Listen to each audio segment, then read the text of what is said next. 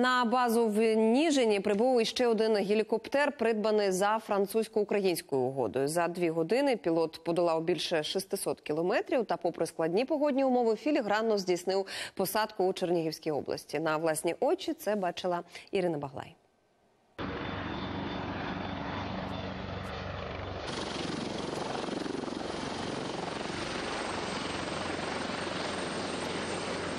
Туман та ще й дощ. Така погода зазвичай вважається нельотною. Але для гелікоптера Супер Пума ці умови виграшно демонструють його можливості. Туман вам не мішав? Ні, все було дуже добре.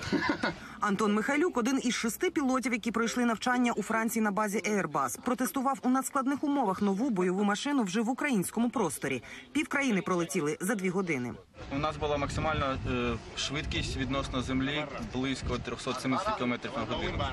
Ну, був попутний вітер, дякуючи цьому. Про переваги суперпуми перед Мі 8 каже лаконічно, щоб цивільні зрозуміли. Це як е, 10-й айфон, порівнюючи з 3310 Nokia. На гелікоптері додає Антон встановлений вертолітний автопілот, що убезпечує екіпаж. Ну, Можливість е, в погану погоду е, отримати більший час для аналізу посадки, виконати всі розрахунки останні. Е, Це полегшує роботу. Менше стресу, менше нервів, е, більш, більша впевненість під час заходу Це вже третій гелікоптер, який за французько-українською угодою отримали наші силовики. Саме цей гелікоптер він і призначений для пошуку на морі. Для авіаційного загону поява цієї сучасної пташки справжнє свято. Пілоти не приховують радості і чекають своєї черги сісти за штурвал суперпуми. У нас на сьогоднішній день створена додаткова авіаційна ескадрилля в кількості 100 чоловік. Е, Це інженерно-технічний склад, і льотний склад, які будуть використовувати саме ці повітряні суда. За умовами проекту всі гелікоптери базуватимуться в ангарах. Один із них уже звели на Ніжинській базі.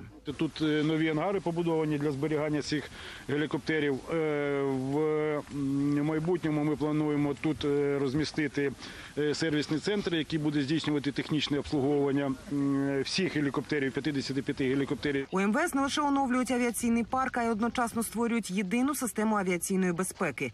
Рішення, екіпаж якого підрозділу вирушатиме на порятунок, ухвалюватимуть централізовано без бюрократичної тяганини. У разі, якщо буде необхідність до залучення для виконання певного типу завдань техніки, яка не зараз знаходиться ближче, наприклад, якщо буде необхідність передислокувати людину з травмами, але немає поряд гелікоптера ДСНС, але є гелікоптер Національної поліції, Державної служби, Державної прикордонної служби, то вони будуть використовуватись як, єдина система. Не буде цього е, розмежування по функціоналу. Уже наприкінці наступного місяця на цьому зльотному полі має приземлитися ще один гелікоптер Супер Пума, четвертий із 21 придбаного.